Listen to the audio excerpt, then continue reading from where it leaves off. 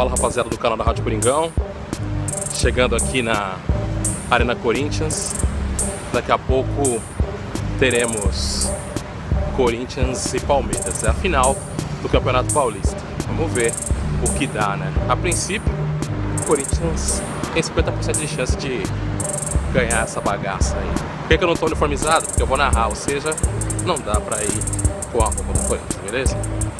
E Daqui a pouco vamos chegar, a galera passando aqui. A intenção hoje é, pelo menos, fazer um resultado bom, né? Pra levar lá pra Arena dos Caras e ganhar o título dentro da casa dos caras. Beleza? Isso aí, rapaziada. Vou mostrar pra vocês a Arena Corinthians. De casa. Tomada vir aqui, né? Pra quem não conhece, tá aí, ó. Que é o bairro de Taquera, São Paulo. Aqui nós vamos subir as escadas,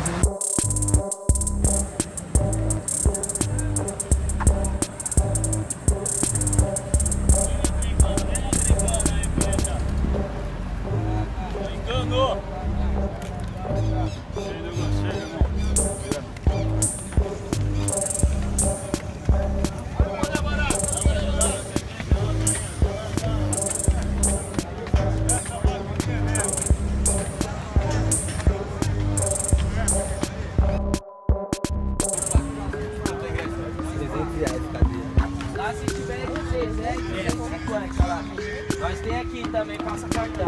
Vê lá.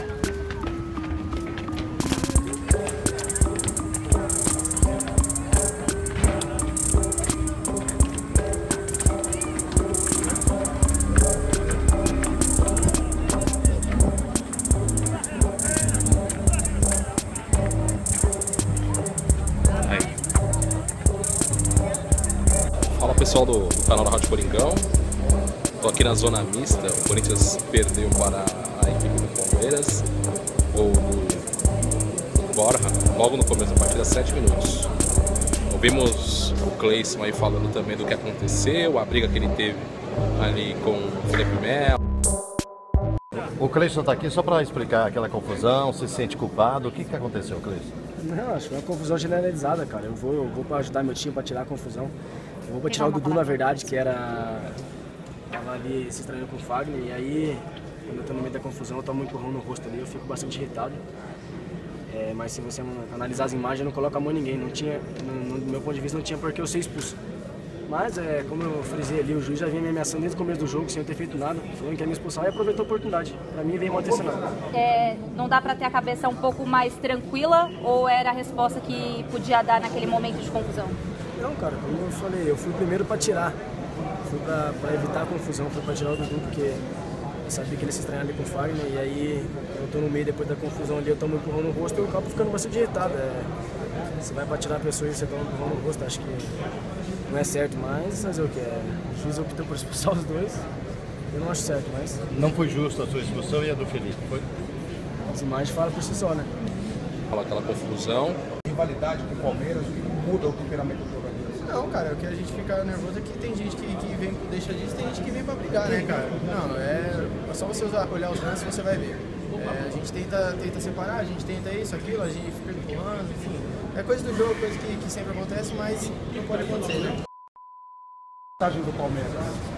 Tamanho. Eu já falei, o Palmeiras é favorito agora. Vamos lá jogar novamente, igual o Playboy, tentar ganhar, fazer zebra novamente. A arbitragem teve abaixo do que merecer esse ano do campeonato, André? Não, não gosto de falar de arbitragem. Eu acho que teve pouco bola rolando. 51 minutos de bola rolando é muito pouco. Agora não tem nada a reclamar não. Perdemos. O Palmeiras foi seguido uma bola, fez o gol e Eles têm uma semana inteira de trabalho. juntar todo mundo, trabalhar essa semana toda, um dia menos de descanso nesse jogo, também pesa bastante, mas não tem o que reclamar não. Mas o que importa realmente é que o Corinthians perdeu para a equipe do Palmeiras e para conseguir esse Campeonato Paulista 2018, vai ter que ir na cidade deles para tentar reverter a situação. E como ir buscar esse resultado lá no Allianz Parque? Como ir buscar esse resultado lá? Bom, lógico que entrar para ganhar, né? É, tentar jogar melhor do que hoje. A gente sabe que, que hoje- a gente foi muito abaixo do nosso rendimento. É, não vai botar desculpas, mas enfim, né? consciente de que agora temos uma semana para poder descansar e trabalhar bem para poder chegar em últimas condições no seguinte jogo e tentar conseguir o nosso objetivo que é o título. Albuena, quando você parar para fazer a análise da partida, você disse que o Corinthians foi muito abaixo. O que, que dá para esperar de diferente pensando num jogo na casa do rival, só com a torcida do rival e com o Corinthians tendo que propor o jogo para buscar o resultado? Não, logicamente vai ser um jogo disputado. Né? Eles jogando em casa a gente com, com obrigação de, de ir em busca do, do resultado, a gente vai tentar é, uma estratégia boa para poder conseguir o resultado que a gente quer para poder conseguir o objetivo vai ter que fazer o resultado fora de casa, vai ter que fazer o resultado lá no Allianz Parque na próxima semana. Já o Palmeiras joga contra a Aliança Lima, se não me engano, da Libertadores. Então o Corinthians tem tempo para poder buscar opções. Esse jogo o Corinthians não conseguiu sequer chutar para o gol. Então a gente é, criou pouco hoje, né? Teve muita, muita, muita posse de bola, mas a gente não conseguiu finalizar.